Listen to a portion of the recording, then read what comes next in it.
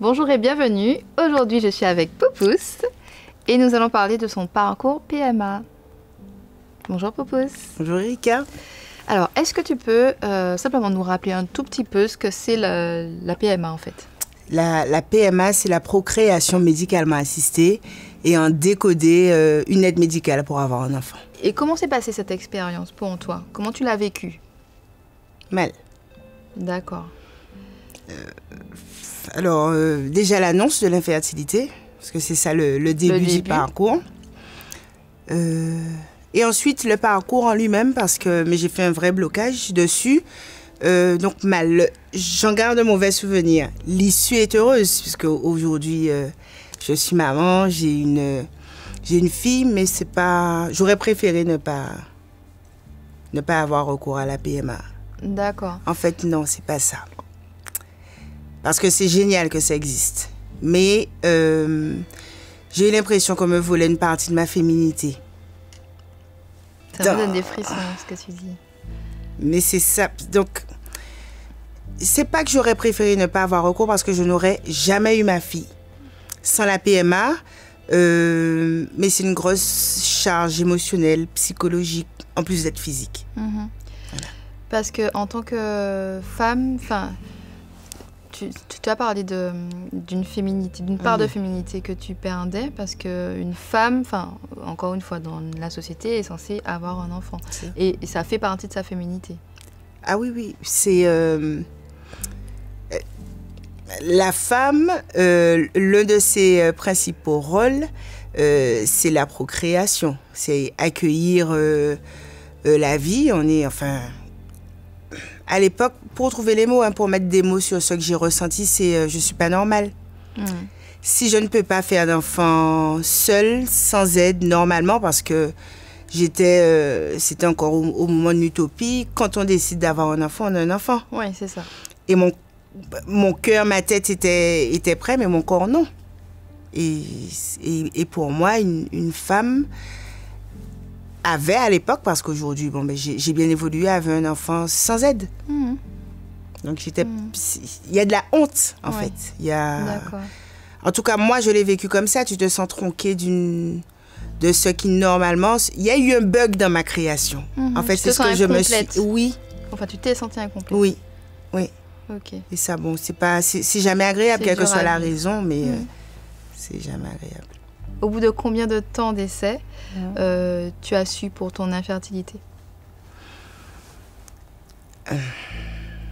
Officiellement, au bout de trois ans, Ok. mais euh, je le savais déjà, puisque quand euh, euh, tu as des rapports non protégés, que tu sais que ben normalement au bout d'un an, avant c'était au bout de deux ans, et là dans, dans les parcours, si je ne me trompe pas, ils ont ils ont raccourci la, la durée.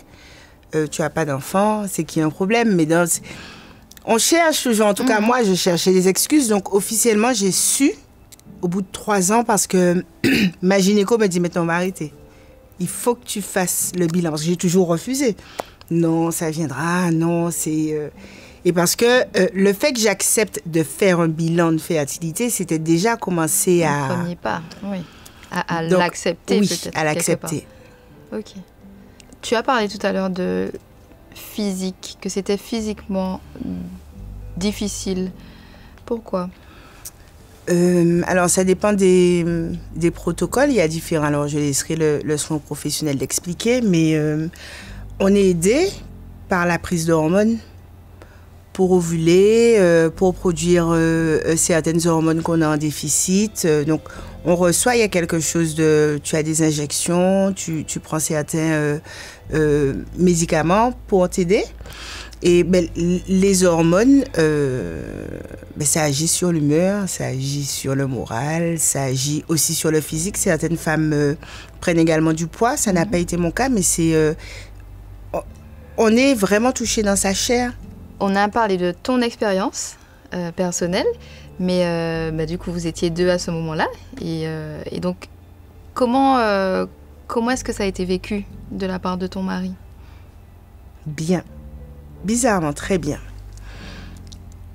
Et pour être honnête, parce qu'on a une grande différence d'âge, quand j'ai compris qu'il y avait le problème de l'infertilité, j'ai même souhaité que ce soit lui parce que j'aurais pu m'abriter derrière Mhm. ça.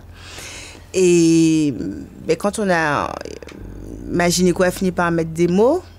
Comme moi, j'ai commencé parce qu'il y a quand même le, le monde qui s'écroule. Oui. Moi, à ce moment-là, à, à pleurer, à dire que je suis pas normale, que j'ai un problème, que lui, jamais. Et j'avais peur aussi de ça, que dans un coin de sa tête, parce que alors, c'est la culture, c'est ce qu'on nous a transmis, mais, mais comme une femme est censée euh, avoir un enfant, réussir à avoir un enfant, est-ce qu'il allait encore me voir comme une femme? Et euh, il a été d'une patience euh, hors norme. Parce qu'en plus, à l'époque où, où je n'assumais pas encore, parce que j'ai commencé à en parler avant de d'avoir ma fille, euh, il comprenait pas quand on me posait les questions, parce qu'il y a toujours toutes les petites questions euh, qui sont pas méchantes, mais qui sont souvent maladroites. Mhm. Euh, Qu'est-ce que tu attends? Euh, Mais il sera trop tard. Mais à ton âge, mais vous êtes fainéant. Et je disais juste, on veut pas, on n'est pas encore prêt. Ou et chaque fois après, il me disait, mais Maud, pourquoi tu as honte? Moi, ça me pose aucun problème. Et je lui disais non. Mhm. Et, et- et avec lui, j'ai jamais ressenti ça, quoi. Tout, euh, au contraire, euh, il vidait chaque fois mon réservoir euh, culpabilité, honte. C'est beau. J'ai- J'ai vraiment été, euh, Bien accompagné. ah oui, bien accompagnée parce que, et je pense que ça c'est indispensable aussi au sein d'un couple. Et on parle beaucoup de la femme, mais en fait c'est compliqué pour l'homme aussi dans un couple. Parce que tu es là, tu alors parfois la fertilité masculine également. Dans mon cas, c'était c'était moi, mais on est deux parce que c'est un projet commun euh, d'avoir un enfant et de sauter le, le- le pas et d'avoir recours à la PMA. Et euh, heureusement qu'il n'a pas basculé, qu'il n'a pas eu le même travers que celui que j'ai eu. Euh, en ayant honte, en étant en colère. J'étais aussi, je parle de honte, mais il y a, il y a aussi beaucoup de colère. Et ça a permis d'assurer un équilibre. Parce que je pense que si tous les deux, on l'avait vécu avec autant de violence que moi, euh, je l'ai vécu au début, je sais pas, je sais pas ce que ça aurait donné. Oui. Et est-ce que tu as ressenti le besoin de te faire accompagner sur le plan psychologique? Non. Alors, j'aurais peut-être dû, à la, pendant la période où j'étais dans le, euh, dans le déni, dans... Je trouve pas le terme, mais quand je cachais ça, parce qu'il y avait, fallait creuser un peu plus. Mais euh, après, non, parce qu'une fois que j'ai accepté, euh, oui, que j'ai accepté, parce que je n'ai pas accepté tout de suite, hein, Oui. même quand on a, on m'a diagnostiqué mon infertilité, je n'ai pas accepté. J'ai Mhm. refusé les traitements, j'ai refusé d'être aidée. À partir de ce moment-là, c'était, c'était plus nécessaire. Mais aussi, je pense que ça aussi, ça a beaucoup joué. Euh, j'ai une famille très présente. Parce qu'on se sent aussi souvent seul dans ce, dans, Mhm. Dans dans cette ce type de parcours et dans cette démarche. Et je pouvais en parler. C'était pas un sujet tabou. Euh, avant d'accepter, oui, j'aurais, j'aurais peut-être. euh, mais c'est là, hein, c'est maintenant que tu m'as posé la question que je me dis. Maud, peut-être que si tu, tu avais euh, fait la démarche de demander de l'aide, tu aurais peut-être eu ta fille plus tôt, tu aurais eu ton enfant, enfin, Oui. Et avec des si. euh, avec des si. Mais à, à l'époque, je n'y ai pas pensé. D'accord. Et donc l'issue est heureuse. Très, très. Alors, et, et j'en suis consciente. J'ai. Euh, Erika, c'est moi, ça a été, c'est un essai, un embryon et ma fille. C'est vrai. Ah oui. Alors, c'est, euh, j'ai pris cinq ans avant d'aller au bout de, de ma démarche, mais je, je suis consciente de, de- enfin, mon issue est, est magique. Parce qu'il y a des femmes, euh, Ouais. Il y a beaucoup d'essais. ouais. et, et parfois l'issue n'est pas favorable, mais j'ai, j'ai bénéficié euh, la première fois quand je dois faire, parce qu'en plus ça se passe après l'incendie du, du CHU. Donc je ne peux pas finir mon, je commence ici et je ne peux pas finir mon suivi ici. Je pars. euh, et la première fois, mais là, je pense que c'était aussi psychologique. euh, mes hormones s'emballent. On pense que j'ai ovulé, on peut pas me faire la ponction. Enfin, ça part dans tous les sens. Donc, on tente quand même. La, la gynéco qui me suit me dit, vous n'avez pas fait tout ça pour reprendre l'avion sans qu'on essaie. C'est pas grave. Euh, au pire, il y aura pas d'embryon, mais vous, vous, je peux pas vous laisser repartir comme ça. Et on fait la ponction et j'ai des ovules. Euh, J'en ai plusieurs, mais on peut pas me faire la FIV. On peut pas me faire l'assimilation parce que bon, euh, ça s'est emballé. Et, et quand je reviens en Guadeloupe, je bloque. Je reprends près de six mois, six ou neuf mois avant de reprendre l'avion. Parce que je, je repars dans. Il y a une espèce de crainte, il y a une espèce de. Puis un jour, je me dis, mais non, tu peux pas. euh, je pars. On décide euh, que c'est un seul embryon. Et ça marche. Super. Quand tu, quand tu apprends que tu es enceinte, Oh là là. Mais jusqu'à maintenant, c'est c'est hmm, c'est encore la même émotion. Alors, euh, j'ai rêvé d'être maman. J'ai rêvé d'être enceinte. J'ai rêvé, enfin, c'est c'est indescriptible. Ce que j'ai ressenti, parce que je pense aussi que c'est c'est très personnel, euh, c'est indescriptible. Je ne pourrais pas t'expliquer. euh, avec des mais mots. a- avec des mots, mais euh, j'ai vibré jusqu'à maintenant. Alors, bon, l'aventure continue. euh. Quand j'ai pris l'avion, j'ai dit à ma famille, je pars chercher mon enfant. Et certains essaient de me dire, bon, ok, tu es optimiste, mais si tu pouvais un peu. et, et quand j'ai fait la prise de sang et que c'était c'était positif, j'ai appris que, que, que j'étais enceinte. Je leur ai dit, je vous avais dit que je partais chercher mon enfant. Eh ben, ça y est.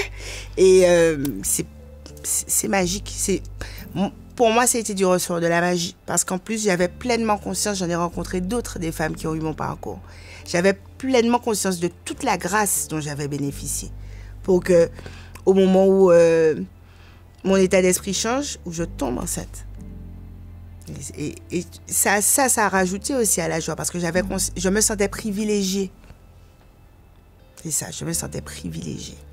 Dans ce parcours, tu as sûrement échangé avec d'autres femmes. Est-ce que tu as tissé des liens avec d'autres femmes qui ont vécu euh, ce- ce- cette expérience? Oui, mais euh, bizarrement, ce ne sont pas les femmes que j'ai rencontrées euh, dans les différents centres.